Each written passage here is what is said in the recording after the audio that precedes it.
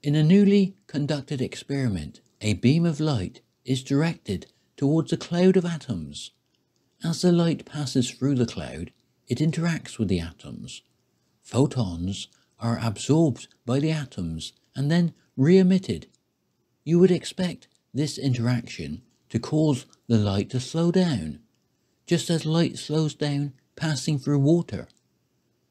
But what the scientists found by using two light beams that have the same frequency, meaning the same number of waves per second, with the waves in phase, meaning the peaks and troughs are occurring at the same time.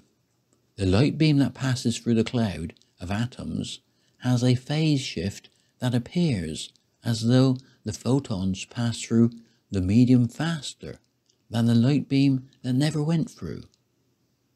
The peak of a wave in the same phase were measured and appeared to form much earlier than scientists expected. They interpreted this as an indicator for negative time. For an alternative interpretation, I will place a link here to a video that explains how the absorption and emission of photons form an emergent probabilistic future.